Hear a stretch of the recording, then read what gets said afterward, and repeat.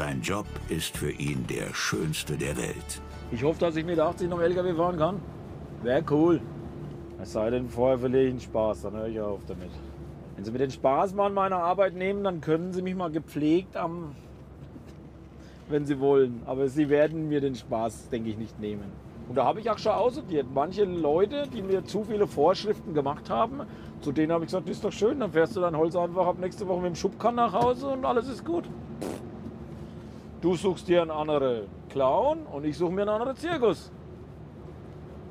Und dann sind wir Freunde geblieben und haben halt nie mehr voneinander gehört. Ich denk, wie schön war es doch eben noch hier mit dir. Ich weiß, was ich will.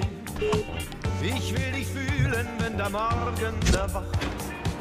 Mit dir den Tag verbringen bis in die Nacht. Let's do it! Und glaube, nirgends ist ein Ende in Sicht. Nein, für uns nicht. Ich Weiß, was ich will, ich will die Leidenschaft, mit der du mich liebst, die sanfte Zärtlichkeit, wie du sie mir gibst. Die Illusion, du lebst allein nur für mich, die brauche ich. Ich weiß, was ich will. Ich will, dass endlich etwas Neues beginnt.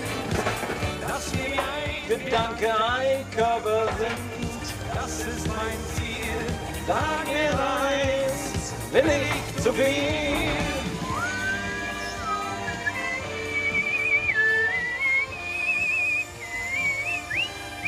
Und jetzt will Thorsten ein saftiges Stück Fleisch. Frisch vom Grill. Wichtig ist, dass du was Ordentliches auf den Grill legst. Die meisten haben ja mittlerweile den 998 Euro Grill von einer namhaften, renommierten amerikanischen Firma auf dem Balkon stehen. Aber dann dackelt die Alte ins Aldi und holt für 98 Cent die Steaks. Kann ja nicht sein. Also ich bin ja so einer, ich gehe dann unterwegs immer in eine Metzgerei oder eine Bäckerei. So, jetzt gibt es gleich Gespräch gedrückt da drinnen. Wollt ihr das zu zweit ist? Alles?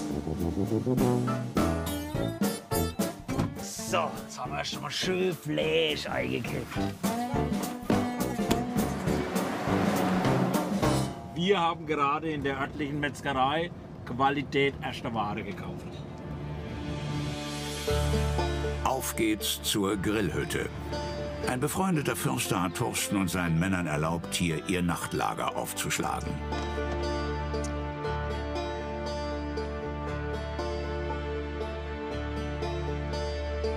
Leute, habe ich mich heute schon geplagt. Ey, Wahnsinn, was ich heute alles geredet habe. Der Ausblick macht's wieder gut. Hey, wir haben Salat gekauft. Den Nudelsalat, den müssen wir heute essen, weil der war heute schon von gestern. Ja, wenn du Nudelsalat von heute willst, musst du nicht morgen kommen.